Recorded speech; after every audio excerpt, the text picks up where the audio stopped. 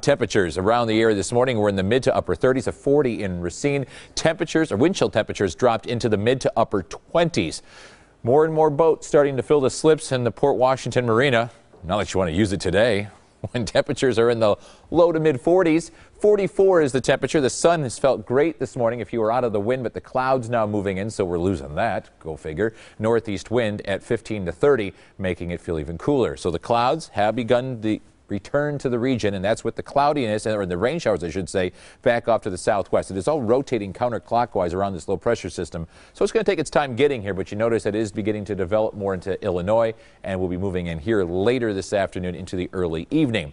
After those temperatures in the 30s this morning, not a big warm up. It's only 43 in Shorewood, 46 in Tosa, as well as Franklin. Oak Creek's at 45. And those winds are whipping around anywhere from 15 to 30 miles per hour around southeastern Wisconsin. And as we mentioned earlier, that is still creating some wind chills along the lakefront in the upper 30s. It feels like 36 in Waukesha, and where temperatures are in the 50s, barely in the 50s, the wind chill not much to talk about, but still, that wind is cold. So we're going to have the clouds moving in this afternoon. Uh, so increasing clouds as we speak. 47 degrees for the temperature. Northeast wind at 15 to 25, making it feel even colder than that. Inland areas will get into the lower 50s. Here's the future forecast. With those clouds, eventually will come rain, and there will be some downpours overnight tonight with northeast winds still anywhere from 10 to 15, gusting to 20. And so that's going to make upper 30s and rainy conditions feel even worse by tomorrow morning. Then we'll continue to have these very hit and miss rain showers throughout the afternoon tomorrow, but the ground's already going to be pretty wet.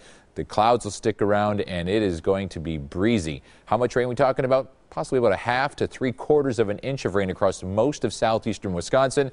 So it's going to be a good soaking rain but the temperatures are not going to help. Look at the, I mean, at least it's going to be warm enough that it's not going to snow. Barely. We're talking upper 30s with wind chills in the upper 20s. And then for tomorrow afternoon, these are your highs. Low to maybe mid 40s. And with northeast winds at 15 to 20, wind chills all day in the 30s. It is not going to be a pleasant night or day tomorrow.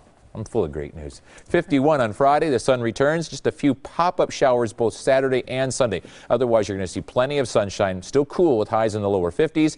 And we start to warm back up into the 60s by next Tuesday and all of next week, which will be fine with me. This cold is miserable.